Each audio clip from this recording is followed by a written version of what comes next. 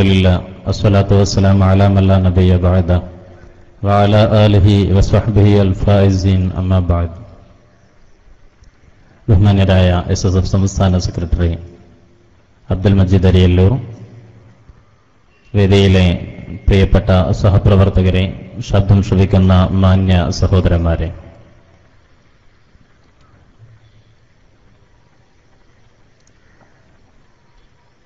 ഈ പരിപാടിയുടെ സംഘാടനോദ്ദേശ്യം നേരത്തെ സ്വാഗത ഭാഷണത്തിലും അധ്യക്ഷ പ്രഭാഷണത്തിലുമൊക്കെ നമ്മൾ ശ്രവിച്ചിട്ടുണ്ട്.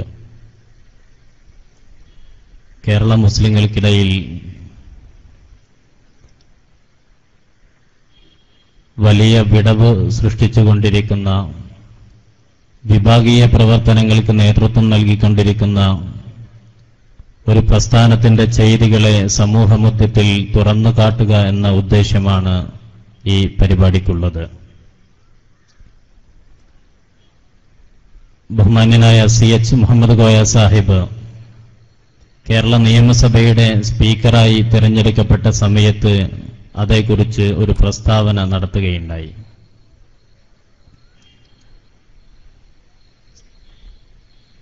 കഴുത്തിൽ വാഴനാര് പോലുമില്ലാത്ത ഒരു പെണ്ണിനെ പൊന്നമ്മ എന്ന് വിളിക്കുന്നത് പോലെയാണ് സ്പീക്കർ എന്ന പദവി. സ്പീക്കർ എന്ന പദം പ്രസംഗിക്കുന്നയാൾ സംസാരിക്കുന്നയാൾ എന്നൊക്കെയാണ് അതിന്റെ ഭാഷാർത്ഥമെങ്കിലും. സഭയിൽ വളരെ കുറച്ച് മാത്രം സംസാരിക്കാവുന്ന വളരെ പ്രധാനപ്പെട്ട സമയങ്ങളിൽ മാത്രം ഇടപെടാൻ കഴിയുന്ന ആളെയാണ് സ്പീക്കർ എന്നതുകൊണ്ട് ഉദ്ദേശിക്കാറുള്ളത്. അത് മനസ്സിൽ വെച്ചാണ് അദ്ദേഹം ഈ ഉപമ നടത്തിയിട്ടുള്ളത്. അതേപോലെ ജമാഅത്തെ ഇസ്ലാമി എന്ന പ്രസ്ഥാനത്തെ നമ്മൾ പഠനവിധേയമാക്കുന്ന സമയത്ത് പേരിൽ ഇസ്ലാം ഉണ്ട്. അതിനെ മലയാളീകരിച്ച് ഇസ്ലാമിക പ്രസ്ഥാനം എന്ന് ഓമനത്തോടെ അവർ സ്വയം വിശേഷിപ്പിക്കാറുമുണ്ട്. പക്ഷേ ഇത് കേവലം പേരിൽ മാത്രമുള്ളതാണ്. കഴുത്തിൽ വാഴനാര് പോലുമില്ലാത്ത പെണ്ണിനെ പൊന്നമ്മ എന്ന് വിളിക്കുന്നതിനേക്കാൾ പാതകമാണ്. ജമാഅത്തെ ഇസ്ലാമി എന്ന് പറയുന്ന മൗദൂദി മൂവ്മെന്റിനെ ഇസ്ലാമുമായി ചേർത്ത് പറയുന്നത്. യഥാർത്ഥത്തിൽ അത് ദ്രവരൂപത്തിലുള്ള ഒരു സാധനമാണ്. ദ്രവരൂപത്തിലുള്ള സാധനങ്ങൾക്ക് നിയതമായ ഒരു ആകൃതി ഉണ്ടാവില്ല. നമ്മൾ വെള്ളം ഏത് പാത്രത്തിലാണോ ഒഴിക്കുന്നത് ആ പാത്രത്തിന്റെ ആകൃതിയാണ് വെള്ളത്തിന് കണക്കാക്കാറുള്ളത്. അതേപോലെ ജമായത്തെ ഇസ്ലാമിയും നിയതമായ ഒരു ആകൃതിയും രൂപവും ഘടനയുമുള്ള പ്രസ്ഥാനമല്ല. ഓരോ കാലത്ത് ഓരോ ദേശത്ത് വ്യത്യസ്തമായ നിലപാടുകളും സമീപനങ്ങളും നയങ്ങളുമാണ് ജമാഅത്തെ ഇസ്ലാമിക്ക് ഇന്ന് വരെ ഉണ്ടായിട്ടുള്ളത്. ഇന്ത്യൻ ജമാഅത്തെ ഇസ്ലാമിയുടെ സ്വാതന്ത്ര്യത്തിന് മുമ്പുള്ള സമീപനമല്ല പിൽക്കാലത്തുണ്ടായത്. ഇന്ത്യയിലെ ജമാഅത്ത് മൂവ്മെന്റിന്റെ സിദ്ധാന്തങ്ങളും പ്രവർത്തനങ്ങളുമല്ല പാകിസ്ഥാനിൽ അവർ നടത്തിക്കൊണ്ടിരിക്കുന്നത്. ബംഗ്ലാദേശിൽ തുലവും വ്യത്യസ്തമായ രാഷ്ട്രവിരുദ്ധമായ ഒരു പ്രസ്ഥാനം എന്ന നിലയിലാണ് ജമാഅത്തെ ഇസ്ലാമി വിശേഷിപ്പിക്കപ്പെടുന്നത്. പാകിസ്ഥാനിൽ ജനറൽ സിയാ ഉൽ ഹക്ക് ഭരണത്തിലിരിക്കുന്ന കാലത്ത് ജമാഅത്തെ ഇസ്ലാമിയുടെ നേതൃത്വം പറഞ്ഞത് അദ്ദേഹം ഹുക്കൂമത്തെ ഇലാഹിയുടെ മിഷിഹ ആണെന്നാണ്. ഞങ്ങൾ ഉദ്ദേശിച്ച മതഭരണം ഇസ്ലാമിക രാഷ്ട്ര വ്യവസ്ഥിതി ഈ പട്ടാള ഭരണത്തിലൂടെ സാക്ഷാത്കരിക്കപ്പെടുന്നുവെന്നാണ് സിയ ഉൽ ഹക്കിന്റെ ഭരണകാലത്തെ വിശേഷിപ്പിച്ചിട്ടുള്ളത്. പക്ഷെ പിന്നീട് സിയ ഉൽ ഹക്ക് മാറി ഭരണം മാറി വരുന്ന സമയത്ത് ജമാഅത്തെ ഇസ്ലാമി ചുവട് മാറ്റി. അവർ പറഞ്ഞത് പട്ടാള ഭരണം ഹറാമാണ്. അത് മതവിരുദ്ധമാണ് നിഷിദ്ധമാണ് എന്ന ആശയമാണ് പാകിസ്ഥാനിലെ ജമാഅത്തെ ഇസ്ലാമി മുന്നോട്ട് വെച്ചത്. പിന്നീട് കിഴക്കൻ പാകിസ്ഥാനിൽ സ്വാതന്ത്ര്യ പ്രക്ഷോഭം രൂപപ്പെടുകയും ബംഗ്ലാദേശ് എന്ന് പറയുന്ന രാജ്യം പിറക്കുകയും ചെയ്തു. ബംഗ്ലാദേശിന് വേണ്ടിയുള്ള പ്രക്ഷോഭങ്ങൾ നടന്നുകൊണ്ടിരിക്കുന്ന സമയത്ത് ജമാഅത്തെ ഇസ്ലാമി പാകിസ്ഥാനിലെ ഭരണകൂടത്തിനൊപ്പം നിന്ന് ആ നാട്ടിലെ കിഴക്കൻ പാകിസ്ഥാനിലെ ജനങ്ങളുടെ മേൽ പാതകങ്ങൾ നടപ്പാക്കിക്കൊണ്ടിരിക്കുകയായിരുന്നു. ഇൻഷാ അല്ലാ, നിസ്കാരത്തിന് ശേഷം തുടരാം. നിലപാടുകളാണ് സ്വീകരിച്ചിട്ടുള്ളത്. ഒരു കാലത്ത് ജനാധിപത്യ മതേതര സംവിധാനങ്ങളെയും ദേശീയതയെയും പാടെ തള്ളിക്കളഞ്ഞതാണ് ജമാഅത്തെ ഇസ്ലാമിയുടെ സാഹിത്യം. ഭരണഘടനയിൽ പരാമർശിക്കപ്പെട്ടിട്ടുള്ള ചില പ്രയോഗങ്ങളുണ്ട്. സർക്കാരിന്റെ കുഞ്ചിക സ്ഥാനങ്ങൾ വഹിക്കാൻ പാടില്ല. അത്തരം പ്രധാന പദവികളിലൊന്നും ജമാഅത്തെ ഇസ്ലാമിയുടെ ആളുകൾ ഉണ്ടായിക്കൂടാ എന്ന നിഷ്കർഷ ഒരുപാട് കാലം ജമാഅത്തെ ഇസ്ലാമി പുലർത്തിയിരുന്നു. പക്ഷേ പിന്നീട് ജമാഅത്തെ ഇസ്ലാമി ആ നിലപാട് മാറ്റുകയും നിർബന്ധമായും വോട്ട് ചെയ്യണമെന്നും അങ്ങനെ വോട്ട് ചെയ്യുമ്പോൾ മാത്രമാണ് ഒരു രാജ്യത്തെ നിയമവ്യവസ്ഥയോട് ചേർന്നു നിൽക്കാനും നമ്മുടെ കാര്യങ്ങൾ നേടിയെടുക്കാനും കഴിയൂവെന്ന് ജനങ്ങളെയും അനുയായികളെയും ബോധ്യപ്പെടുത്തി. ഇങ്ങനെ ഓരോ കാലത്തും വ്യത്യസ്തങ്ങളായ നിലപാടുകൾ സ്വീകരിച്ച പ്രസ്ഥാനം. യഥാർത്ഥത്തിൽ ഒരു പുതിയ സംഘടന രൂപപ്പെടുന്നതിന് വ്യത്യസ്ത സാഹചര്യങ്ങൾ ഉണ്ടാകാറുണ്ട്. ഒന്നുകിൽ ഒരു പുതിയ ആശയം സമൂഹത്തിനു മുമ്പിൽ സമർപ്പിക്കാനുണ്ടാവണം. അതല്ലെങ്കിൽ നിലനിൽക്കുന്ന ആശയത്തെ കൂടുതൽ പേരിലേക്ക് എത്തിക്കുക എന്ന ഉദ്ദേശത്തോടു കൂടിയുള്ള ഉപഘടകമായി വർത്തിക്കണം. അതുമല്ലെങ്കിൽ നിലനിൽക്കുന്ന വ്യവസ്ഥിതി പാടെ ദുഷിച്ചിരിക്കുന്നു എന്ന തിരിച്ചറിവിൽ നിന്ന് ഒരു വിമോചന മുന്നേറ്റമായി പുതിയ പ്രസ്ഥാനങ്ങൾ രൂപപ്പെട്ടു വന്നതും ചരിത്രത്തിൽ നമുക്ക് കാണാൻ കഴിയും. പക്ഷേ ഇന്ത്യൻ ജമാഅത്തെ ഇസ്ലാമി ഇതിൽ ഏത് സാഹചര്യത്തിലാണ് രൂപപ്പെട്ടു വന്നത് എന്നത് പരിശോധനാ വിധേയമാക്കേണ്ടതുണ്ട്.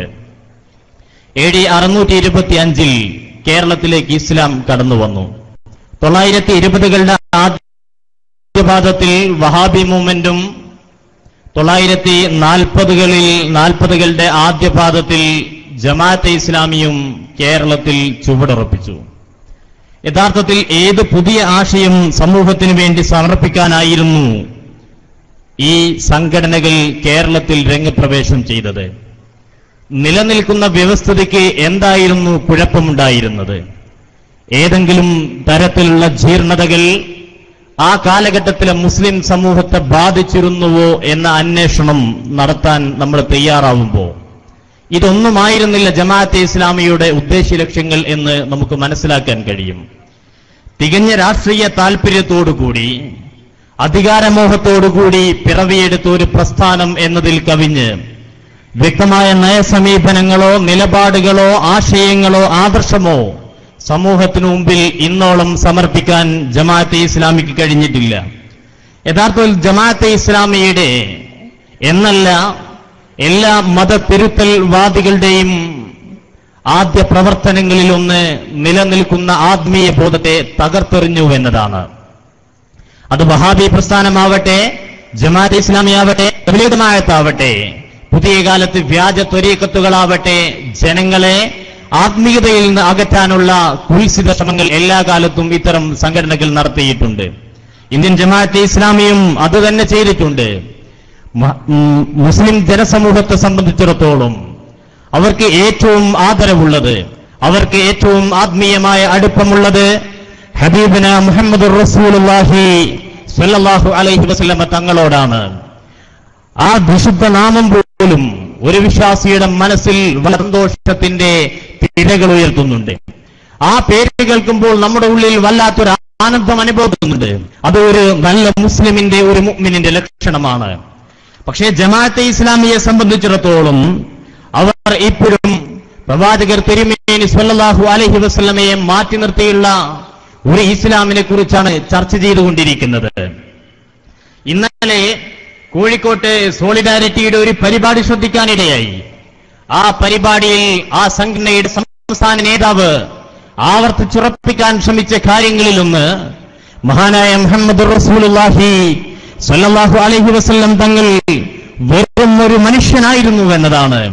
അദ്ദേഹത്തിന് മറ്റു മനുഷ്യരിൽ നിന്ന് ഭിന്നമായ പ്രത്യേകതകളില്ലായിരുന്നുവെന്നും കേരളത്തിലെ സുന്നികൾ വിശിഷ്യ കാന്തപുരം വിഭാഗം മഹാനായ തിരുദൂതർ സല്ലല്ലാഹു അലൈഹി വസല്ലമയെ കേന്ദ്രസ്ഥാനത്ത് പ്രതിഷ്ഠിച്ചുകൊണ്ട് മദീനയെ കേന്ദ്രബിന്ദുവായി കണ്ടുകൊണ്ട് ഒരു ഇസ്ലാമിനെ തൗഹീദിൽ നിന്ന് ഭിന്നമായ ഏകദൈവ വിശ്വാസത്തിൽ നിന്ന് വ്യതിചലിച്ച ഒരു ഇസ്ലാമിനെ സമൂഹത്തിനു മുമ്പിൽ അവതരിപ്പിക്കുകയാണ് എന്നതാണ് സുന്നികൾക്കെതിരായ കുറ്റപത്രങ്ങളിൽ ഒന്നായി അവിടെ അവതരിപ്പിക്കപ്പെട്ടത്. യഥാർത്ഥത്തിൽ എത്രത്തോളം ബാലിശമാണ് ഈ ആശയം. മഹാനായ മുഹമ്മദ് റസൂലുള്ളാഹി സ്വല്ലല്ലാഹു അലഹി വസല്ലമ തങ്ങളെ മാറ്റി നിർത്തിയിട്ട് ഒരു ഇസ്ലാമിനെ നമുക്ക് സങ്കല്പിക്കാൻ കഴിയുമോ? അങ്ങനെ കഴിയുമെങ്കിൽ ജമാഅത്തെ ഇസ്ലാമിയുടെ പള്ളികളിൽ ഇനി മുതൽ ബാങ്കിന്റെ വാചകങ്ങൾ ഒരൽപ്പം മാറ്റിത്തിരുത്തലുകൾക്ക് വിധേയമാക്കണമെന്ന് വിനയപൂർവം ഞങ്ങൾ ഓർമ്മപ്പെടുത്തുകയാണ്. അഷ്ഹദു അഷ്ഹദു നമ്മൾ എല്ലാ ബാങ്കിലും ഈ വാചകങ്ങൾ ഉദ്ധരിക്കാറുണ്ട്. എന്തേ ജമാഅത്തെ ഇസ്ലാമി ആ വാചകത്തെ വെട്ടിമാറ്റിയിട്ട് അഷ്ഹദു അല്ല ഇലാഹ ഇല്ലല്ലാ എന്ന് പറഞ്ഞ് നേരെ ഹയ്യ അലസ്വല എന്നതിലേക്ക് എന്തേ ഇവർ ചാടിക്കടക്കാൻ തയ്യാറാകാത്തത്.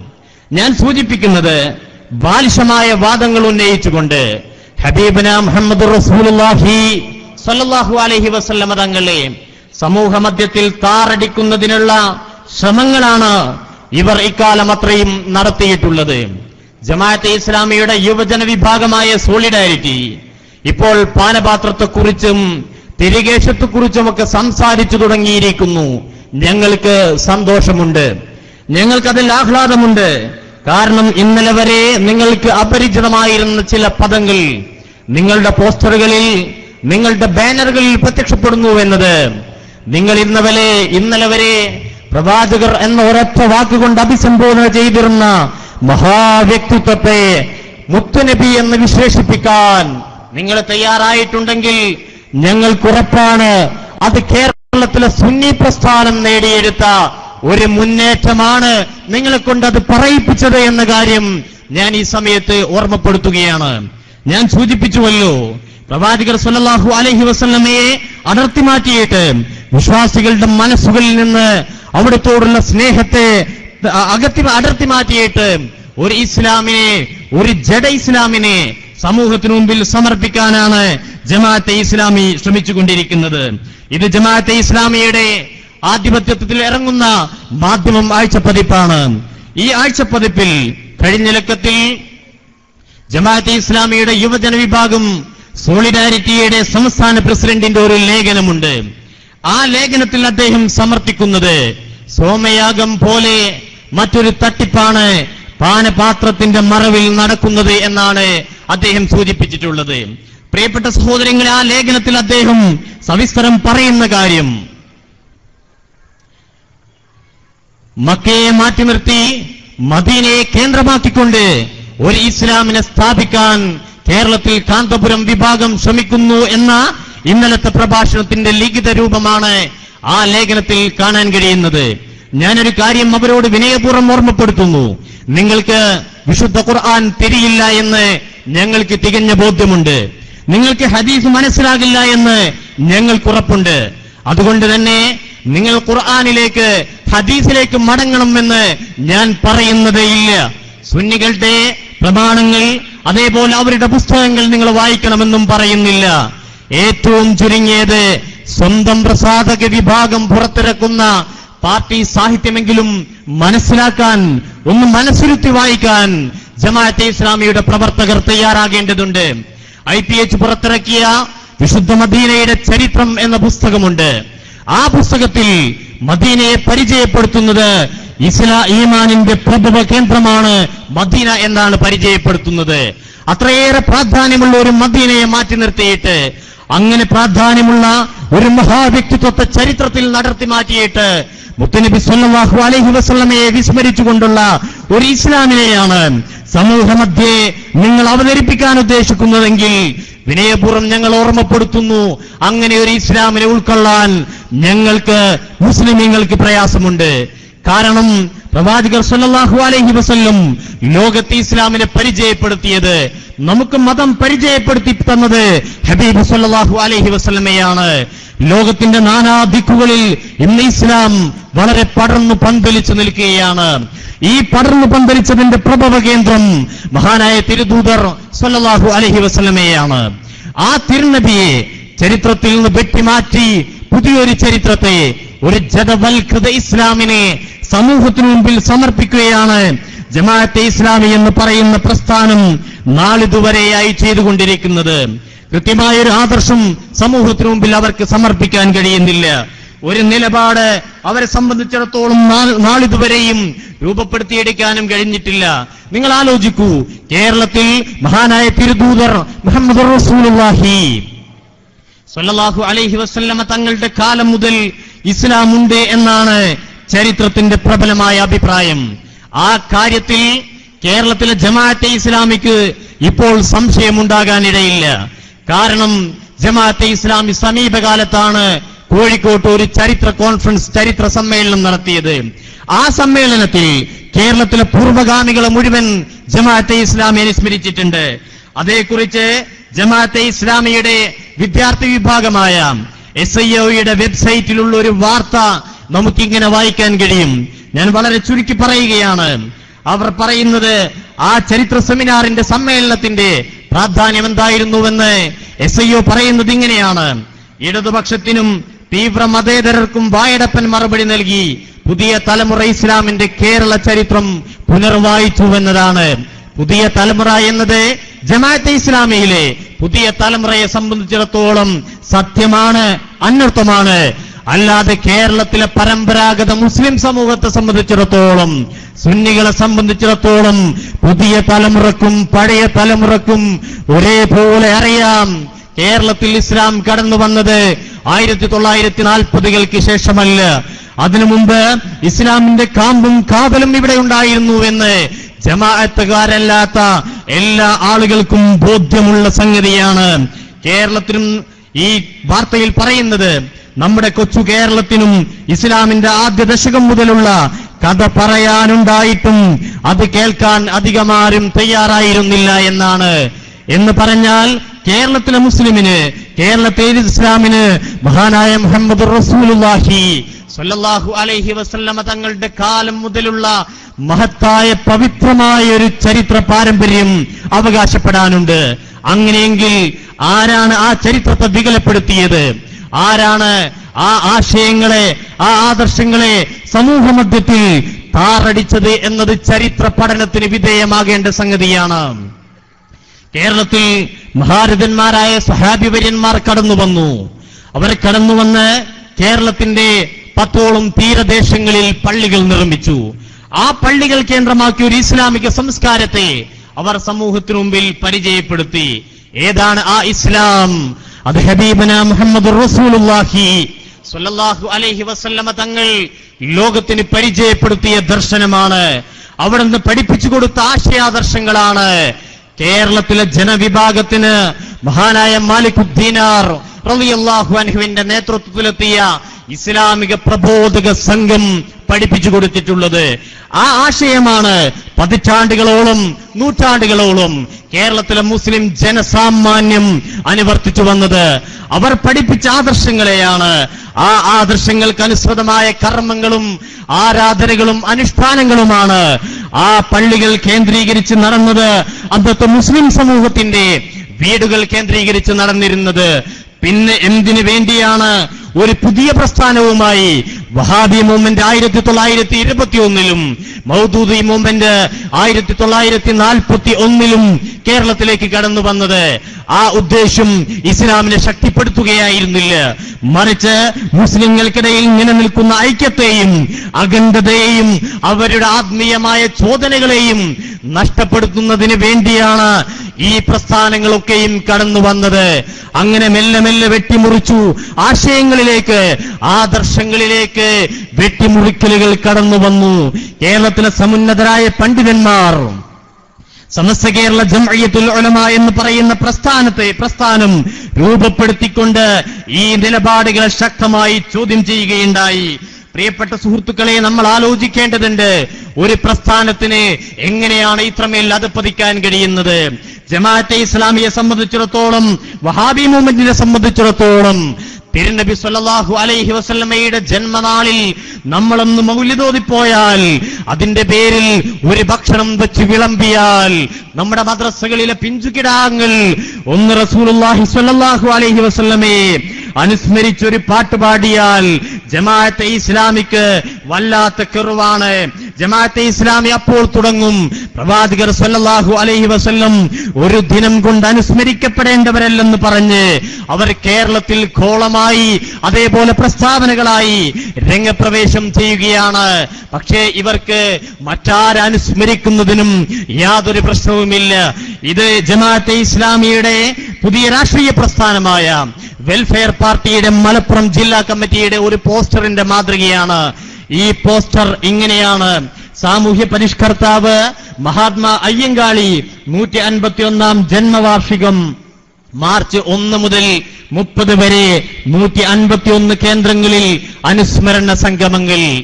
അയ്യങ്കാളിയെ ഞങ്ങൾക്ക് പരിചയമുണ്ട്. നിങ്ങൾക്കറിയാം കേരളത്തിലെ ദളിത് മുന്നേറ്റത്തിന് നെടുനായകത്വം വഹിച്ച വ്യക്തി എന്ന നിലയിൽ അയ്യങ്കാളിയുടെ സേവനങ്ങളെ ഞങ്ങൾ ആരും ചുരുക്കി കാണുന്നില്ല. പക്ഷേ വിനയപൂർവം ജമാഅത്തുകാർ മറുപടി പറയേണ്ട ഒരു കാര്യമുണ്ട്. നിങ്ങൾക്ക് ഹബീബന മുഹമ്മദ് റസൂലുള്ളാഹി സ്വല്ലല്ലാഹു അലൈഹി വസല്ലമ തങ്ങളെ അനുസ്മരിക്കുന്നതിനാണ് കെറിവ്. മറ്റാരെയും നിങ്ങൾക്ക് അനുസ്മരിക്കാം. ഇനി പറയരുത്. വെൽഫെയർ പാർട്ടി ഞങ്ങളുടെ സംഘടനയല്ല എന്ന് ജമാഅത്തെ ഇസ്ലാമിക്കാർ പറയരുത്. സാധാരണഗതിയിൽ അങ്ങനെയാണ് നാളിതുവരെയും പറയാറുള്ളത്. പക്ഷേ ഞാൻ ഓർമ്മപ്പെടുത്തുകയാണ് ജമാഅത്തെ ഇസ്ലാമി നാട്ടിൽ ഇസ്ലാമിന്റെ പേരിൽ എന്തെല്ലാം തോന്നിവാസങ്ങളാണ് നടത്തുന്നത്. വെൽഫെയർ പാർട്ടി എന്ന് പറയുന്ന സംഘടനയെ മുൻനിർത്തി ഇസ്ലാമികാദർശങ്ങളെ പിച്ചു ചീന്തുന്ന വിധത്തിലാണ് കേരളത്തിൽ ജമാഅത്തെ ഇസ്ലാമി കേരളത്തിലെ ജമാഅത്തെ ഇസ്ലാമി കഴിഞ്ഞ വർഷങ്ങളിൽ കാലങ്ങളിൽ നടത്തിക്കൊണ്ടിരിക്കുന്നത് എന്നത് നമുക്കൊക്കെ അറിവുള്ള കാര്യമാണ്. ജമാഅത്തെ ഇസ്ലാമിയുമായി ബന്ധമില്ല. വെൽഫെയർ പാർട്ടിക്ക് എന്നാണെങ്കിൽ നിങ്ങൾ ഈ സർക്കുലറിന് മറുപടി പറയണം. ഇത് ജമാഅത്തെ ഇസ്ലാമിയുടെ സർക്കുലറാണ്. ജെ ഐ കെ ഏഴ് ആറ് രണ്ടായിരത്തി പതിമൂന്ന് എന്ന നമ്പറിലുള്ള സർക്കുലർ ഈ സർക്കുലറിൽ പറയുന്നുണ്ട്.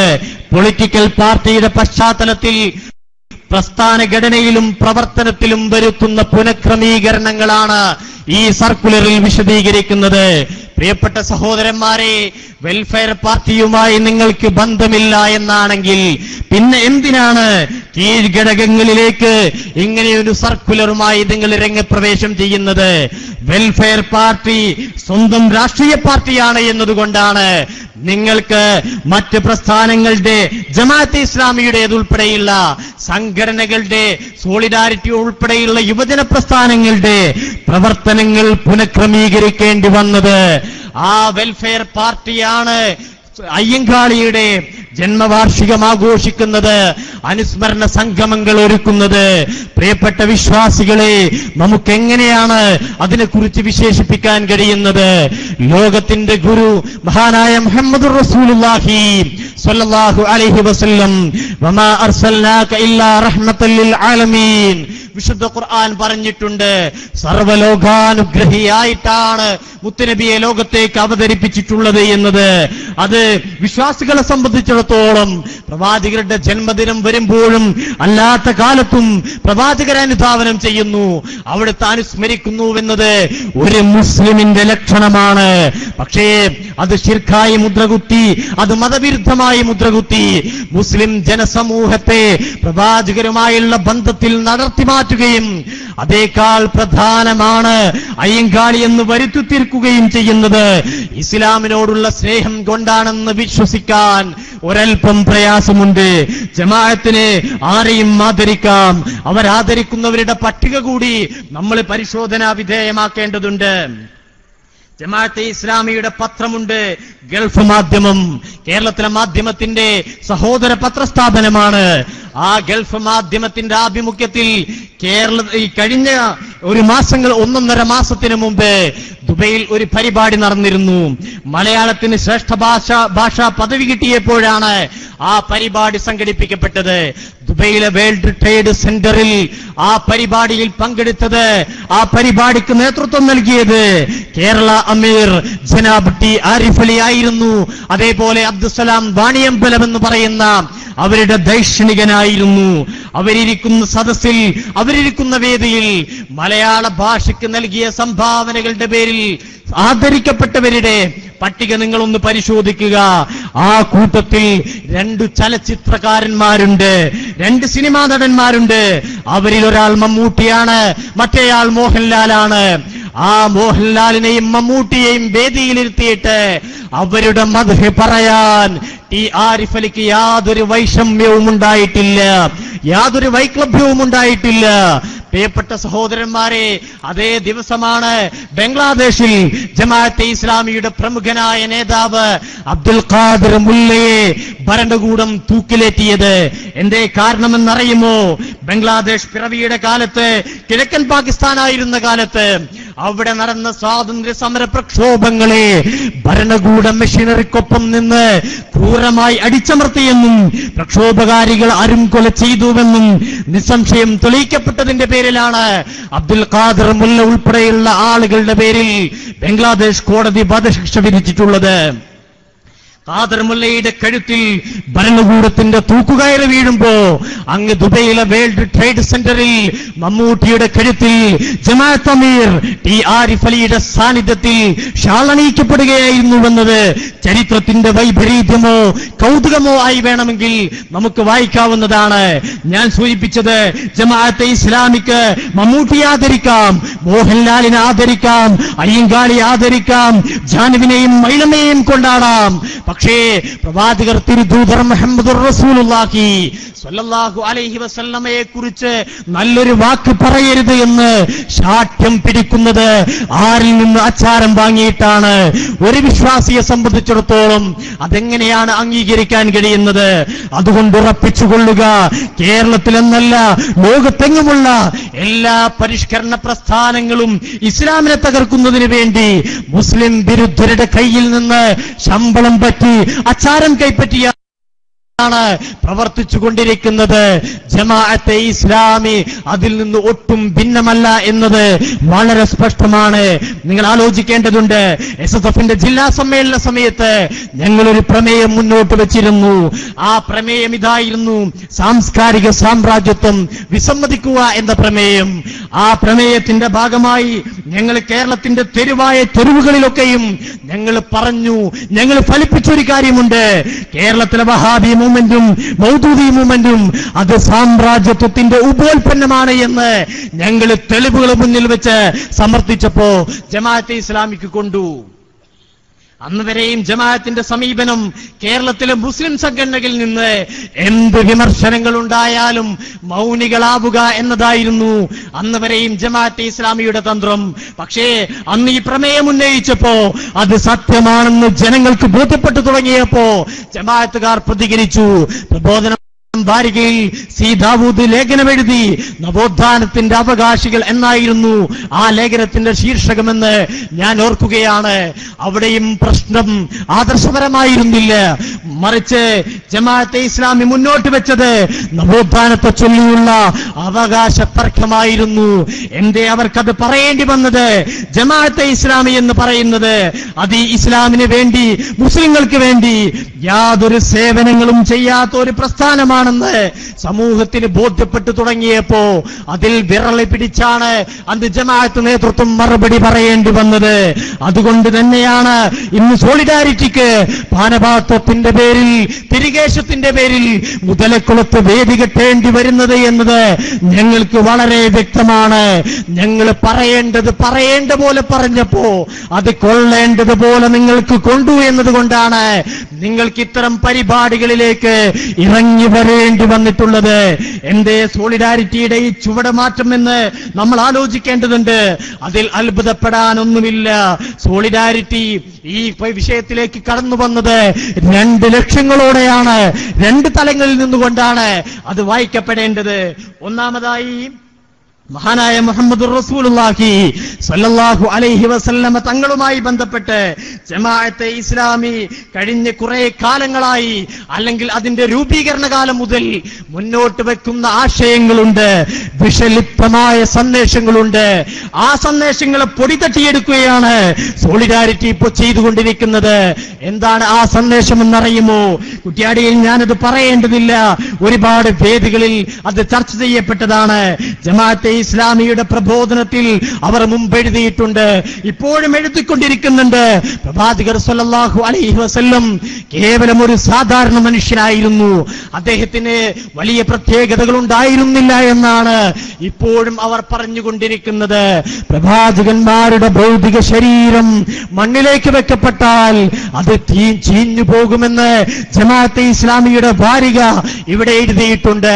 അത് ഈ വേദിയിൽ കുറ്റാടിയിൽ പലപ്പോഴായി ഉദ്ധരിക്കപ്പെട്ടിട്ടുണ്ട്. അതുകൊണ്ട് ഞാൻ ആ വിഷയങ്ങളിലേക്ക് കടക്കുന്നില്ല. ഒരുപക്ഷെ കഴിഞ്ഞ കുറച്ച് കാലങ്ങളിൽ മുഖ്യധാരാ ഭ്രമം പിടിപെട്ടപ്പോ രാഷ്ട്രീയമായ നീക്കുപോക്കുകളുടെ ഭാഗമായി ഇത്തരം നാശയങ്ങൾ പറയാതെ കേവലം കേവലം രാഷ്ട്രീയമായ മുദ്രാവാക്യങ്ങളുമായിട്ടാണ് സോളിഡാരിറ്റിയും ജമാഅത്തെ ഇസ്ലാമിയും കേരളത്തിൽ നിലനിന്നിരുന്നത്. പക്ഷേ അങ്ങനെ വന്ന സമയത്ത് അനുയായികളിൽ ഒരു വിഭാഗത്തിന് തോന്നി തുടങ്ങി അവർ പറഞ്ഞു തുടങ്ങി ഒരു ആദർശവുമില്ലാതെ കേവലം രാഷ്ട്രീയം പറയാൻ വേണ്ടിയാണെങ്കിൽ ഞങ്ങൾ എന്തിന് ജമാഅത്തെ ഇസ്ലാമിയിൽ നിൽക്കണമെന്ന് ആ സംഘടനയുടെ തന്നെ അനുയായികൾ പറഞ്ഞു തുടങ്ങിയപ്പോഴാണ് അവർ മതവിഷയങ്ങളിലേക്ക് തിരിച്ചു വന്നിട്ടുള്ളത്. രണ്ടാമതായി സൂചിപ്പിക്കാൻ കഴിയുന്ന കാര്യം കേരളത്തിൽ വെൽഫെയർ പാർട്ടി രൂപീകൃതമായതോടെ സോളിഡാരിറ്റിയുടെ പ്രവർത്തന ഘടന ഞാൻ നേരത്തെ ഉദ്ധരിച്ച സർക്കുലർ പ്രകാരം പുനരാവിഷ്കരിച്ചിട്ടുണ്ട്. ആ സർക്കുലറിൽ ജമാഅത്തെ ഇസ്ലാമിയുടെ യുവജന വിഭാഗത്തിന്റെ പുതിയ കാലത്തെ ഈ സർക്കുലറിന് ശേഷമുള്ള പ്രവർത്തനങ്ങൾ എന്താകണമെന്ന് ജമാഅത്തെ ഇസ്ലാമി അവരോട് നിർദ്ദേശിച്ചിട്ടുണ്ട്. അതിൽ പറയുന്നത് നിങ്ങളിനി വിമോചന സമരങ്ങൾക്ക് പോകേണ്ടതില്ല. നിങ്ങളിനി വിപ്ലവ പ്രവർത്തനങ്ങൾക്ക് ഇറങ്ങേണ്ടതില്ല. മറിച്ച് സാമുദായിക പ്രശ്നങ്ങളെ പൊതുമുഖത്തോട് അഭിമുഖീകരിക്കുക തുടങ്ങിയവയായിരിക്കും സോളിഡാരിറ്റിയുടെ മുഖ്യമായ കർമ്മ മേഖല എന്നാണ് ഈ സർക്കുലർ പറയുന്നത്. എന്ന് പറഞ്ഞാൽ കഴിഞ്ഞ ഒരു പതിറ്റാണ്ട് കാലം കേരളത്തിൽ പ്രവർത്തിച്ചിട്ട് മുസ്ലിം സമുദായത്തെ അഭിമുഖീകരിക്കാൻ കഴിഞ്ഞിട്ടില്ല ജമാഅത്തെ ഇസ്ലാമിയുടെ യുവജന വിഭാഗത്തിന്. ഇനി മുതൽ ഈ യുവജന വിഭാഗം സോളിഡാരിറ്റി എന്ന് പറയുന്ന പ്രസ്ഥാനം കേരളത്തിലെ മുസ്ലിങ്ങളെ അഭിസംബോധന ചെയ്യുമെന്നാണ് ഈ സർക്കുലർ പറയുന്നത്. ഞങ്ങൾ ചോദിക്കട്ടെ സഹോദരന്മാരെ സമുദായത്തിന്റെ ഫണ്ട് വാങ്ങിയിട്ട് സമുദായത്തിന്റെ പണം പറ്റിയിട്ട് അതിനുവേണ്ടി ഫണ്ട് ശേഖരിച്ച് മുസ്ലിങ്ങൾക്ക് വേണ്ടി യാതൊരു കാര്യവും ചെയ്യാതെ പത്ത് വർഷം പാഴാക്കി കളഞ്ഞതിന്റെ പത്ത് വർഷം പാഴാക്കി കളഞ്ഞതിന്റെ പാപഭാരം കോഴിക്കോട്ട് കടപ്പുറത്ത് പന്തൽ കെട്ടി പാട്ടും കൂത്താട്ടവും നടത്തിയാൽ ഇല്ലാതായി പോകുന്നതാണോ എന്ന് സോളിഡാരിറ്റി മറുപടി പറയണമെന്ന് ഞങ്ങൾ ഈ സമയത്ത് ആവശ്യപ്പെടുകയാണ്. പ്രിയപ്പെട്ട സഹോദരന്മാരെ ഒരു മുസ്ലിം സംഘടന എന്നത് ആത്യന്തികമായി മുന്നോട്ട് വെക്കേണ്ട ആശയം അത് വിശുദ്ധ ദീനിന്റെ പ്രബോധനമാണ്. അത് ജനതയുടെ സംസ്കരണമാണ്. അവരിലേക്ക് ഇസ്ലാം എന്താണ് എന്നത് പരിചയപ്പെടുത്തി കൊടുക്കലാണ് ഒരു ഇസ്ലാമിക സംഘടനയുടെ മുഖ്യമായ ചുമതലയെങ്കിൽ കഴിഞ്ഞ പത്ത് വർഷവും ജമാഅത്തെ ഇസ്ലാമിയുടെ യുവജന വിഭാഗം ലാലൂര് പറഞ്ഞ് ചെങ്ങറ പറഞ്ഞ് അതേപോലെ മൂലമ്പിള്ളി പറഞ്ഞ് ജനകീയ സമരങ്ങളുടെ പേരിൽ ജമാഅത്തെ ഇസ്ലാമിയുടെ സോളിഡാരിറ്റി പാഴാക്കി കളഞ്ഞു എന്നത് ഗൗരവത്തോടെ കാണേണ്ടതാണ്. ജമാഅത്തെ ഇസ്ലാമിക്ക് കിട്ടുന്ന ഫണ്ട് എങ്ങനെയെല്ലാമാണ് തിരിമറി ചെയ്യുന്നത് എന്ന് ഇൻഷാ അള്ളാ ഈ വേദിയിൽ അവതരിപ്പിക്കപ്പെടും. നിങ്ങൾ ഞങ്ങളെക്കുറിച്ച് ആത്മീയ ചൂഷണത്തോട് ആത്മീയ ചൂഷകരെന്ന് ആരോപണം ഉന്നയിക്കുന്നുണ്ട്. ആരാണ് സമുദായത്തിന്റെ ഫണ്ട് വാങ്ങിയിട്ട് അമുക്കിയത് എന്ന് ഞങ്ങൾക്കിവിടെ പറയാൻ കഴിയും. നിങ്ങളുടെ പഴയ ഒരു നേതാവുണ്ട്. ആ നേതാവ് അല്ലെങ്കിൽ പഴയ സഹകാരിയുടെ പേര് ഹാഷിം ഹാജി എന്നതാണ്. ആ സഹകാരിയുടെ ആഭിമുഖ്യത്തിൽ സ്ഥാപിക്കപ്പെട്ട ഒരു സ്ഥാപനമുണ്ട്. എറണാകുളത്ത് ഇസ്ലാമിക് സെന്റർ എന്ന് പറയുന്ന സ്ഥാപനം. ആ സ്ഥാപനത്തിന്റെ ട്രസ്റ്റിന്റെ ചെയർമാൻ ഹാഷിം ഹാജിയാണ്. ഹാഷിം ഹാജിയുടെ പുസ്തകത്തിൽ ജമാഅത്തെ ഇസ്ലാമി ആരുടെ സൃഷ്ടി എന്ന് പറയുന്ന ഹാഷിം ഹാജിയുടെ പുസ്തകത്തിൽ അദ്ദേഹം ഒരു കാര്യം ജമാഅത്തുകാരോട് ചോദിക്കുന്നുണ്ട്. നിങ്ങൾ പുല്ലേപ്പടിയിലെ ഇസ്ലാമിക് സെന്ററിന് വേണ്ടി ജമാഅത്തെ ഇസ്ലാമി അൻപത്തി ആറ് ലക്ഷം രൂപ പിരിച്ചെടുത്തിട്ടുണ്ട്. അൻപത്തി ആറ് ലക്ഷം രൂപ പിരിച്ചെടുത്തിട്ടുണ്ട്. ആ പിരിച്ചെടുത്തതിൽ കുറ്റ്യാടിക്കൊരു ബന്ധമുണ്ട്. കുറ്റ്യാടിയിലെ ജമാഅത്തെ ഇസ്ലാമിയുടെ കോറോത്ത് മൊയ്ത് മൗലവിയുടെ നേതൃത്വത്തിൽ നടത്തിയ ഒരു ഗൾഫ് പിരിവിലാണ് അടിയന്തരാവസ്ഥ കാലത്ത് നടത്തിയ ഗൾഫ് പിരിവിൽ പിരിച്ചെടുത്തത് പതിനഞ്ച് ലക്ഷം രൂപയാണ്. എറണാകുളം ജില്ലാ ജമാഅത്തെ ഇസ്ലാമി പിരിച്ചെടുത്തത് മുപ്പത്തിയാറ് ലക്ഷം രൂപയാണ്. ജമാഅത്തെ ഇസ്ലാമിയുടെ സംസ്ഥാന നേതൃത്വം പിരിച്ചെടുത്തത് പിരിച്ചെടുത്തത് അഞ്ചു ലക്ഷം രൂപയാണ്. ആകെ അൻപത്തി ആറ് ലക്ഷം രൂപ ജമാഅത്തെ ഇസ്ലാമി പിരിച്ചെടുത്തിട്ടുണ്ട്. ഹാഷിം ഹാജി പറയുന്ന ഒരു കാര്യമുണ്ട്. രണ്ടര ലക്ഷം രൂപയാണ് ഈ വകയിൽ ഞങ്ങൾക്ക് കിട്ടിയത്. ആ കിട്ടിയതിൽ തന്നെയും ഒന്നര ലക്ഷം രൂപ പ്രബോധനത്തിന്റെ കടം തീർക്കാൻ വേണ്ടി അഹദ് തങ്ങൾ എന്ന് പറയുന്ന വ്യക്തി വാങ്ങിക്കൊണ്ടുപോയിട്ടുണ്ട്. ബാക്കി വരുന്ന ഒരു ലക്ഷം രൂപയാണ് ഈ പറയുന്ന ഇസ്ലാമിക് സെന്ററിന്റെ നിർമ്മാണത്തിന് വേണ്ടി ജമാഅത്തെ ഇസ്ലാമിയുടെ സംഭാവനയായി അവിടെ വിനിയോഗിക്കപ്പെട്ടിട്ടുള്ളത്. ചോദിക്കട്ടെ സഹോദരന്മാരെ ഹാഷിം ഹാജിയുടെ ചോദ്യം ഞാൻ ഉന്നയിക്കുകയാണ്. അൻപത്തി ആറ് ലക്ഷം രൂപ ജമാഅത്തെ ഇസ്ലാമി പിരിച്ചെടുത്തു. ആ അന്ന് പണിയെടുപ്പിച്ച നിർമ്മാണത്തിന് മേൽനോട്ടം വഹിച്ച ഹാഷിം ഹാജി പറയുന്നുണ്ട്. അദ്ദേഹം പറയുന്നത് ഇസ്ലാമിക് സെന്ററിന്റെ നിർമ്മാണത്തിന് ചെലവായത് ആറ് ലക്ഷം രൂപയാണെന്ന് തൊള്ളായിരത്തി എഴുപത് എഴുപതുകളുടെ രണ്ടാം പകുതിയിലെ കഥയാണിത് പറയുന്നത്. ആറ് ലക്ഷം രൂപയാണ് ചെലവായത്. പറയൂ ജമാഅത്തെ ഇസ്ലാമി ആത്മീയ ചൂഷണത്തെ കുറിച്ച് സാമ്പത്തിക തട്ടിപ്പിനെ കുറിച്ച് ഞങ്ങളെ കുറിച്ച് ആരോപണം ഉന്നയിക്കുന്ന ജമാഅത്തുകാർ മറുപടി പറയണം. ഇവിടെ പോയി? അൻപത് ലക്ഷത്തിലേറെ രൂപ ആരാണ് മുക്കിയത് എന്ന് ജമാഅത്തെ ഇസ്ലാമി മറുപടി പറയേണ്ടതുണ്ട്. അതേക്കുറിച്ച് ഈ പറയുന്ന ഹാഷിം ഹാജിയുടെ ഒരു പ്രയോഗം എനിക്ക് വല്ലാതെ ഇഷ്ടപ്പെട്ടു. ആ പ്രയോഗം ഏതെങ്കിലും രാഷ്ട്രീയ പാർട്ടിയെ വേദനിപ്പിക്കാൻ വേണ്ടിയല്ല ഞാനിത് പറയുന്നത്. വടകര ലോകസഭാ മണ്ഡലത്തിൽപ്പെട്ട ആളുകൾക്ക് പെട്ടെന്ന് തിരിയുമെന്നതുകൊണ്ട് ഞാൻ ആ രാഷ്ട്രീയ പാർട്ടിയുമായി ബന്ധപ്പെട്ടല്ല ഞാനിത് പറയുന്നത്. ഹാഷിം ഹാജിയുടെ പ്രയോഗം ഉദ്ധരിച്ചതാണ്. ഞാൻ സൂചിപ്പിച്ചത് അൻപത്തിയാറ് ലക്ഷം രൂപ പിരിച്ചെടുത്തു. എന്നിട്ട് ആ പള്ളിക്ക് വേണ്ടിയിട്ട് ആ ഇസ്ലാമിക് സെന്ററിന് വേണ്ടിയിട്ട് ഒരു ലക്ഷം രൂപ ചെലവാക്കി അതിൽ നിന്നുള്ള രണ്ടര ലക്ഷം രൂപ കൊണ്ടുപോയത് പ്രബോധനം ഓഫീസിലേക്കാണ്. കടിച്ചാൽ വരേണ്ട അൻപത്തി മൂന്നര ലക്ഷം ജമാഅത്തെ ഇസ്ലാമി എങ്ങനെയാണ് ഇല്ലാതാക്കിയത്? ആരുടെ പോക്കറ്റിലേക്കാണ് പോയത് എന്നുകൂടെ നിങ്ങൾ സമൂഹത്തിനു മുമ്പിൽ പറയണമെന്ന് വിനയപൂർവം ഞങ്ങൾ അഭ്യർത്ഥിക്കുകയാണ്. നിങ്ങൾ പണത്തെക്കുറിച്ച് വാതോരാതെ സംസാരിക്കരുത്. സാമ്പത്തിക തട്ടിപ്പുകളെ കുറിച്ചും നിങ്ങൾ പറയരുത്. വെള്ളിമാട് കുന്നിൽ മേരിക്കുന്നിൽ ഒരു ഒരു ഒരു ബിൽഡിംഗ് ഉണ്ട്. ആ ബിൽഡിംഗ് ജമാഅത്തെ ഇസ്ലാമിയുടെ ദേവ കോളേജിന് വേണ്ടി പാവപ്പെട്ട മനുഷ്യരിൽ നിന്ന് പിരിച്ചെടുത്ത പണം കൊണ്ടാണ് ജമാഅത്തെ ഇസ്ലാമി ആ ബിൽഡിംഗ് സ്ഥാപിച്ചിട്ടുള്ളത്. ആ ബിൽഡിംഗിന് വേണ്ടി ലക്ഷക്കണക്കിന് രൂപയാണ് ജമാഅത്തെ ഇസ്ലാമി ഗൾഫിൽ നിന്നും നാട്ടിൽ നിന്നുമായി സ്വരൂപിച്ചത്. എന്തേ ആ ബിൽഡിംഗിന് സംഭവിച്ചത് എന്ന് കൂടി നമ്മൾ അറിയേണ്ടതുണ്ട്. ജമാഅത്തെ ഇസ്ലാമി അവിടെ ദേവ കോളേജ് ആരംഭിച്ചു. ദേവ കോളേജ് ആരംഭിച്ച് കുറച്ചു കാലം മുന്നോട്ട് പോയി. പിന്നീട് ദേവ കോളേജ് മെല്ലെ മെല്ലെ വിസ്മൃതിയിലായി. ആ സ്ഥാപനത്തിലാണ് ഇന്ന് ജമാഅത്തെ ഇസ്ലാമിയുടെ ജമാഅത്തെ ഇസ്ലാമിയുടെ പത്രമായ മാധ്യം ദിനപത്രത്തിലെ ജീവനക്കാർ അന്തിയുറങ്ങുന്നത്. ഇസ്ലാമിക സംരക്ഷണത്തിന് വേണ്ടിയിട്ട് പ്രബോധന പ്രവർത്തനങ്ങൾ ഊർജിതപ്പെടുത്തുന്നതിന് വേണ്ടിയിട്ട് സ്ഥാപിക്കപ്പെട്ട അതേ ലക്ഷ്യം മുൻനിർത്തി. ജനങ്ങളോട് പണം പിരിച്ച് സ്ഥാപിക്കപ്പെട്ട ഒരു സ്ഥാപനം ഒരു വാടക കെട്ടിടമായി അതപ്പതിച്ചു പോയത് എങ്ങനെയാണ് എന്ന് ജമാഅത്തെ ഇസ്ലാമി വിശദീകരിക്കേണ്ടതുണ്ട്. എന്താണ് അതിന്റെ മതവിധി? ഒരു പണം ഒരു ലക്ഷ്യത്തിന് വേണ്ടിയിട്ട് വാങ്ങിയിട്ട് ആ ഫണ്ട് അതിന്റെ ആവശ്യത്തിന് വേണ്ടി വിനിയോഗിക്കാതെ കേവലം അതും വാടക കൊടുത്ത് വാടക ലഭ്യമാകുന്ന മറ്റൊരു സ്ഥാപനമാക്കി മാറ്റിയിട്ട് അതിൽ നിന്നും ലാഭം കൊയ്യ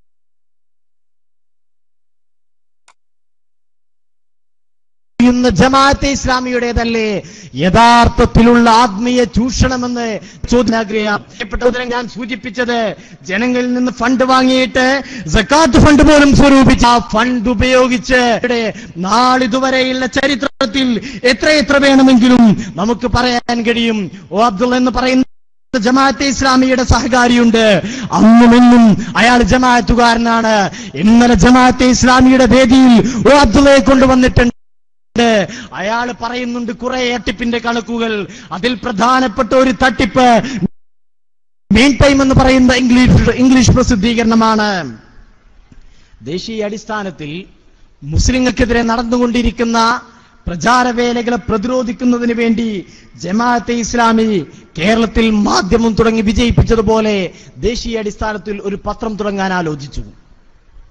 പത്രം തുടങ്ങുന്നതിനെ കുറിച്ച് ആലോചന നടന്നപ്പോൾ മനസ്സിലായി. എളുപ്പത്തിലൊന്നും ദേശീയ അടിസ്ഥാനത്തിൽ ഒരു ദിനപത്രം വിജയിപ്പിച്ചെടുക്കാൻ കഴിയില്ല.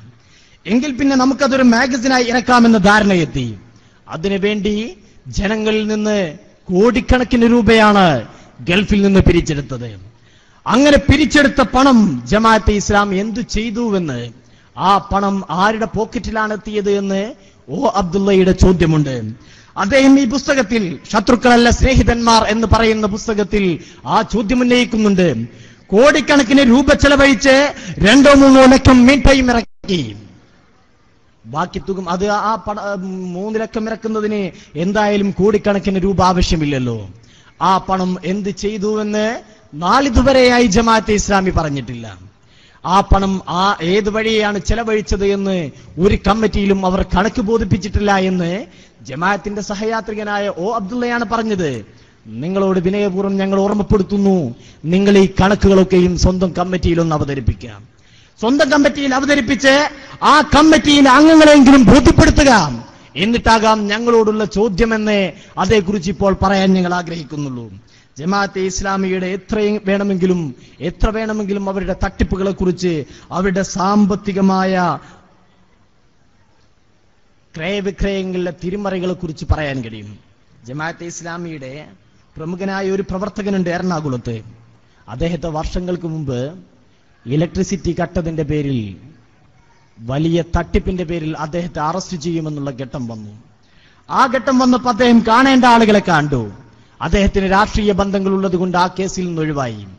എറണാകുളത്തെ ജമാഅത്തെ ഇസ്ലാമിയുടെ ഏറ്റവും പ്രധാനപ്പെട്ട സാമ്പത്തിക സ്രോതസ് ഇന്നും അയാൾ തന്നെയാണ്.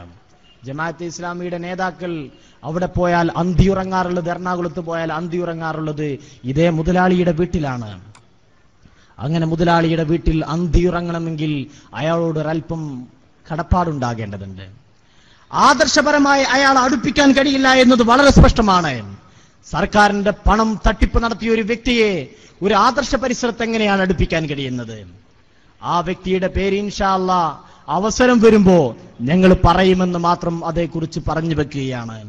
ഞാൻ സൂചിപ്പിച്ചു വരുന്നത് കേരളത്തിലെ ജമാഅത്തെ ഇസ്ലാമി നവോത്ഥാന നാട്യങ്ങളുടെ പേരിൽ നടത്തിക്കൊണ്ടിരിക്കുന്നതൊക്കെയും ശുദ്ധ തട്ടിപ്പുകളാണ്. ജനങ്ങളുടെ കണ്ണിൽ പൊടിയിടുന്നതിന് വേണ്ടി മാധ്യമം പത്രത്തെ ഉപയോഗപ്പെടുത്തി അല്ലെങ്കിൽ മറ്റു പല കാര്യങ്ങളെയും ഉപയോഗപ്പെടുത്തി അവർ പലപ്പോഴും നവോത്ഥാനത്തിന്റെ ആളുകളായി ചമയാറുണ്ട് സമാധാനവാദികളായി പ്രത്യക്ഷപ്പെടാറുണ്ട്. ജമാഅത്തിനെ കുറിച്ച് ആരോപണം ഉന്നയിക്കുമ്പോൾ അവർ പറയുന്ന പ്രധാന മറുപടികളിൽ ഒന്ന് അത് ബാലൻസ് ഒപ്പിക്കുന്നതിന് വേണ്ടിയുള്ള വിമർശനമാണ് എന്നതാണ്. എന്ന് പറഞ്ഞാൽ ആർ എസ് എസിനെ വിമർശിക്കുമ്പോൾ സ്വാഭാവികമായി ജമാഅത്തെ ഇസ്ലാമിയെ വിമർശിക്കും. തീവ്രവാദത്തെക്കുറിച്ച് പറയുമ്പോൾ മൗദൂദിയുടെ ഗ്രന്ഥങ്ങൾ ഉദ്ധരിക്കും. ഇങ്ങനെ സ്ഥാനത്തും അസ്ഥാനത്തും അനാവശ്യമായുമാണ് ജമാഅത്തിനെ വിമർശിക്കുന്നത് എന്ന് നാളിതുവരെയായി ജമാഅത്തെ ഇസ്ലാമി പറയാറുണ്ട്. അതേ തന്ത്രമാണ് ഈ കാലഘട്ടത്തിൽ ജമാഅത്ത് ഇസ്ലാമി സോളിഡാരിറ്റി പുറത്തെടുത്തുകൊണ്ടിരിക്കുന്നത്. അവർക്ക് സോമയാഗത്തെ എതിർക്കേണ്ടതുണ്ട്. കോഴിക്കോട്ട് കഴിഞ്ഞ ഏതാനും ദിവസം മുമ്പ് ദിവസങ്ങൾക്ക് മുമ്പ് ഹൈന്ദവ മതാചാര പ്രകാരമുള്ള ഒരു യാഗം നടന്നു സോമയാഗം. അതിനെതിരെ ആ മതത്തിനകത്ത് നിന്ന് തന്നെ ചില പുരോഗമനവാദികൾ പ്രതിഷേധിക്കുകയും ചെയ്തു. പക്ഷേ ജമാഅത്ത് ഇസ്ലാമിക്ക് അതിൽ എന്താണ് കാര്യം? ജമാഅത്തെ ഇസ്ലാമിയുടെ യുവജന വിഭാഗത്തിന് അതിൽ എന്ത് വിഷയം?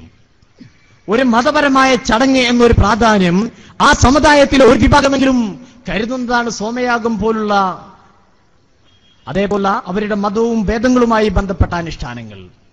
ആ അനുഷ്ഠാനങ്ങൾ തെറ്റാണ് എന്ന് പറയാൻ സോളിഡാരിറ്റിക്ക് എന്ത് അധികാരമാണുള്ളത്? ആ അനുഷ്ഠാനങ്ങളെ ചോദ്യം ചെയ്യാൻ അതിനെ തിരുത്താൻ ജമാഅത്തെ ഇസ്ലാം എന്തിനു മുന്നോട്ട് വരണം? യഥാർത്ഥത്തിൽ ഇവിടെയാണ് ജമാഅത്തെ ഇസ്ലാമിയുടെ ഒളി അജണ്ടയുള്ളത്. ഈച്ചക്ക് വ്രണം പ്രിയമാണ് എന്നതുപോലെ ജമാഅത്തെ ഇസ്ലാമിക്ക് പ്രശ്നങ്ങൾ ഉണ്ടായിക്കൊണ്ടിരിക്കണം. മുസ്ലിങ്ങൾക്കിടയിൽ വർഗീകരണങ്ങളും വിഭാഗീയതകളും ജനങ്ങൾക്കിടയിൽ കുഴപ്പങ്ങളും ഉണ്ടാവണം. അപ്പോഴേ ജമാഅത്തിന് നിലനിൽക്കാൻ കഴിയുകയുള്ളൂ. മുസ്ലിമും ഹിന്ദുവും യോജിച്ചു പോകുന്ന ഒരു രാഷ്ട്ര വ്യവസ്ഥയെ കുറിച്ച് ജമാഅത്തിന് ആലോചിക്കാൻ പോലും കഴിയില്ല. മറിച്ച് അവരായിപ്പോഴും സംഘർഷത്തിൽ ഏർപ്പെട്ടുകൊണ്ടിരിക്കണം. അങ്ങനെ സംഘർഷങ്ങൾ ഉണ്ടാക്കുന്നതിന് വേണ്ടി എന്തിലും ഏതിലും കയറി ഇടപെടുകയും മതപരമായ ആചാരാനുഷ്ഠാനങ്ങളെ പോലും ചോദ്യം ചെയ്യുകയുമാണ് ജമാഅത്തെ ഇസ്ലാമി ചെയ്തുകൊണ്ടിരിക്കുന്നത്. സോമയാഗത്തോട് എതിർപ്പുള്ള ആളുകൾ ഉണ്ടാവാം അങ്ങനെ എതിർപ്പുള്ള ആ മതത്തിലെ ആളുകൾ അതിനെ വിമർശിക്കട്ടെ. അവരുടെ പ്രമാണങ്ങൾ മുൻനിർത്തിയിട്ട് അത് തെറ്റാണ് എന്ന് പറയട്ടെ. ഒരു ഇസ്ലാമിക പ്രസ്ഥാനം എന്തിനാണ് അത്തരം പ്രവർത്തനങ്ങളിൽ ഏർപ്പെട്ട് നാട്ടിൽ ഛിദ്രതയുണ്ടാക്കുന്നത്? എന്തിനാണ് മുസ്ലിം മുസ്ലിമുകൾക്ക് ഹിന്ദുമത വിശ്വാസപ്രകാരമുള്ള ഒരു അനുഷ്ഠാനത്തിൽ എന്തു കാര്യമെന്ന് ആ സമുദായത്തിൽ നിന്ന് ആരെങ്കിലും ചോദിച്ചാൽ അതിന് എന്ത് മറുപടി പറയാൻ കഴിയും? യഥാർത്ഥത്തിൽ ഇതിന്റെ എല്ലാം പേരുദോഷം സംഭവിക്കുന്നത് മുസ്ലിം ജനസമൂഹത്തിനാണ്.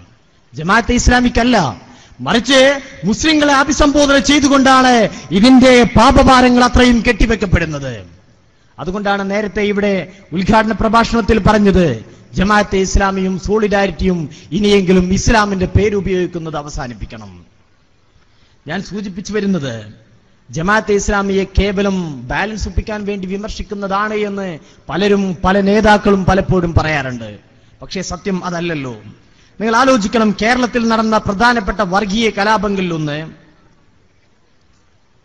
തലശ്ശേരി കലാപമായിരുന്നു. ആ തലശ്ശേരി കലാപവുമായി ബന്ധപ്പെട്ട് അന്വേഷിച്ച വിധേയത്തിൽ കമ്മീഷൻ പിന്നീട് ആർ എസ് എസ് എന്ന് പറയുന്ന തീവ്ര ഹിന്ദു വർഗീയ പ്രസ്ഥാനത്തെ പ്രതിസ്ഥാനത്ത് നിർത്തിയിട്ടുണ്ട്. പക്ഷേ ആ കാലത്ത് ജമാഅത്തെ ഇസ്ലാമി എന്ത് ചെയ്യുകയായിരുന്നു എന്നുകൂടി നമ്മൾ ആലോചിക്കേണ്ടതുണ്ട്. ഏത് കാലഘട്ടങ്ങളിലും ജമാഅത്തെ ഇസ്ലാമി നിരോധിക്കപ്പെട്ട കാലഘട്ടത്തിൽ പോലും യഥാർത്ഥത്തിൽ ജമാഅത്തെ ഇസ്ലാമി വളരെ ഒളിവിലിരുന്നു കൊണ്ടെങ്കിലും തങ്ങളുടെ ഹിഡൻ അജണ്ടകൾ നടപ്പാക്കാൻ ശ്രമിച്ചിട്ടുണ്ട്. ആ കാലഘട്ടത്തെക്കുറിച്ച് ജമാഅത്തെ ഇസ്ലാമിയുടെ സഹയാത്രികൻ ഹാഷിം ഹാജി പറയുന്നത് ഇങ്ങനെയാണ്. ഞാൻ അദ്ദേഹത്തിന്റെ വാക്കുകൾ ഉദ്ധരിക്കാം. ആയിരത്തി തൊള്ളായിരത്തി അറുപത്തി ഒൻപതിലോ എഴുപതിലോ ആയിരുന്നു തലശ്ശേരി കലാപം. കലാപാനന്തരം ഹൽക്ക അടിസ്ഥാനത്തിൽ ആർ എസ് എസിനെ നേരിടുന്നതിന് വേണ്ടി ആയോധന കല പരിശീലിപ്പിക്കാൻ ജമാഅത്തെ ഇസ്ലാമി നേതൃത്വം അന്നൊക്കെ ആൾ നിയോ നിയമിക്കുമായിരുന്നു. അതനുസരിച്ച് എറണാകുളത്ത് വന്ന ഗുരുക്കളെ കെ കെ മുഹമ്മദ് ഇസ്ലാഹിയുടെ സഹായത്തോടെ ഞാനാണ് താമസ സൗകര്യവും ഭക്ഷണവും നൽകി സംരക്ഷിച്ചത്. എന്റെ കമ്പനിയിലെ ചില ജീവനക്കാരടക്കം പതിനഞ്ച് പേർ കളരിമുറകളും ആയോധന കലകളും അഭ്യസിച്ചു. മികച്ച പ്രകടനം കാഴ്ചവർക്ക് അവാർഡ് ദാനവും നടത്തി. ഞാൻ സൂചിപ്പിക്കുന്ന പറഞ്ഞു വരുന്നത് ജമാഅത്തെ ഇസ്ലാമി എന്ന് പറയുന്ന പ്രസ്ഥാനം പലപ്പോഴും മാധ്യമം പത്രത്തിലൂടെ സമാധാനത്തിന്റെ വേഷം കെട്ടാറുണ്ട്. പക്ഷേ അങ്ങനെ സമാധാനം പറയുന്ന ജമാഅത്തെ ഇസ്ലാമി കേരളത്തിൽ കലാപമുണ്ടാക്കാനുള്ള ശ്രമങ്ങൾക്ക് നേതൃത്വം കൊടുക്കുന്ന ഒരു സംഘടനയ്ക്ക് എതിരെ എന്ന പേരിൽ ഒരു വിഭാഗത്ത് ആയുധ പരിശീലനം നൽകിയെന്നാണ് അവരുടെ സഹയാത്രികൾ പറഞ്ഞുകൊണ്ടിരിക്കുന്നത്. അങ്ങനെയെങ്കിൽ ജമാഅത്തെ ഇസ്ലാം ഇന്ന് അഭിമുഖീകരിച്ചു കൊണ്ടിരിക്കുന്ന തീവ്രവാദത്തിന്റെയും വർഗീയതയുടെയും പേരിലുള്ള ആക്ഷേപങ്ങൾ വെറുതെയല്ല എന്ന് നമുക്ക് എളുപ്പം ബോധ്യപ്പെടുകയാണ്. പ്രിയപ്പെട്ട സുഹൃത്തുക്കളെ എന്റെ ശബ്ദം ശ്രമിക്കുന്ന മാന്യ സഹോദരങ്ങളോട് ഓർമ്മപ്പെടുത്താനുള്ളത്. ജമാഅത്ത് ഇസ്ലാമി ഇസ്ലാമിന്റെ പേരിൽ നാം ഓർമ്മ വരികയാണ്. ജമാഅത്ത് ഇസ്ലാമിയുടെ വനിതാ വിഭാഗം ജി ഐ കഴിഞ്ഞ ഒന്നൊന്നര മാസം മുമ്പ് അൻസാർ സ്കൂൾ പെരുമ്പിലാവിൽ വെച്ച് അവരുടെ നേതൃത്വത്തിൽ ഒരു നാടക മത്സരം നടന്നു. മാധ്യമത്തിൽ അതിന്റെ വാർത്ത വന്നിരുന്നു. അരങ്ങിലെ മുസ്ലിം പെണ്ണിന്റെ ആവിഷ്കാരവുമായി നാടക മത്സരം എന്ന ശീർഷകത്തിൽ ആ വാർത്ത വന്നതോർക്കുകയാണ് ആ നാടക മത്സരത്തിൽ ഒന്നാം സ്ഥാനം നേടിയ ടീമിന് സമ്മാനം കൊടുത്തത് ജമാഅത്ത് ഇസ്ലാമിയുടെ അമീർ ടി ആരിഫ് അലിയാണ്. ജമാഅത്തിന് ഇതെല്ലാം പറ്റും. ജമാഅത്തിന് വെൽഫെയർ പാർട്ടിയുടെ പേരിൽ വെൽഫെയർ പാർട്ടിയുടെ രാഷ്ട്രീയ മോഹങ്ങൾ സാക്ഷാത്കരിക്കുന്നതിന് വേണ്ടി സ്ത്രീകൾ തെരുവിലേക്ക് വലിച്ചെടുക്കുന്നതിന് യാതൊരു മടിയുമില്ല. പക്ഷേ അതേസമയം അവർ പറയുകയും ചെയ്യും ഞങ്ങളെ സ്ത്രീകൾ അങ്ങനെ രംഗപ്രവേശം ചെയ്യുന്നത് ദരിദ്രാണ് എന്ന്. ഓ അബ്ദുറഹ്മാൻ എന്ന് പറയുന്ന ജമാഅത്തെ ഇസ്ലാമിയുടെ പ്രമുഖനായ നേതാവ് അദ്ദേഹത്തിന്റെ പുസ്തകമുണ്ട് യുക്തിവാദികളും ഇസ്ലാമും എന്ന് പറയുന്ന പുസ്തകം. ആ പുസ്തകത്തിൽ അദ്ദേഹം പറയുന്നത് ആണും പെണ്ണും ഒരുമിച്ച് ചേര് ആണും പെണ്ണും ഒരുമിച്ച് ജോലി ചെയ്യുന്ന ഓഫീസുകളിൽ ഔദ്യോഗിക ജോലി ഒഴികെ മറ്റെല്ലാം നടക്കുന്നു എന്നാണ് അദ്ദേഹം പറഞ്ഞിട്ടുള്ളത് എന്താണ് ആ മറ്റെല്ലാം എന്നത് ഞാൻ നിങ്ങളുടെ വ്യാഖ്യാനത്തിന് വിടുന്നു പക്ഷേ ഒരു ചോദ്യത്തിന്. ആണും പെണ്ണും ഒരുമിച്ച് ജോലി ചെയ്യുന്ന കോഴിക്കോട്ടെയും തിരുവനന്തപുരത്തെയും കൊച്ചിയിലെയും മാധ്യമ ഓഫീസുകളിൽ ഔദ്യോഗിക ജോലിയല്ലാതെ